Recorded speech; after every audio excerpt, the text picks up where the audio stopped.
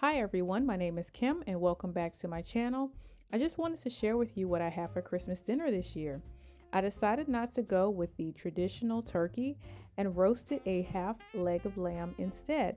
It turned out really well and I had it with roasted parsnips, butternut squash, and potatoes. The best part of it all was the dessert. We had Christmas pudding which was bought from a local farm shop.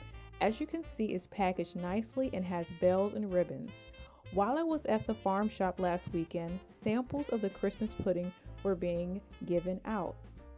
The samples were really tasty, so I decided to buy one. I have tried several brands of Christmas puddings, but this one is the best that I've had so far. For those of you who are not familiar with Christmas pudding, it's a uh, it's a dessert that's traditionally served with Christmas dinner in the UK. It's made with several different spices, dried fruit, and alcohol. This one in particular is made with rum and it has cherries in it.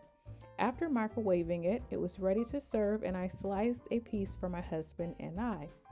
Well, that was my Christmas dinner this year. I hope you had a Merry Christmas and if you enjoyed the video, please like, share, and subscribe.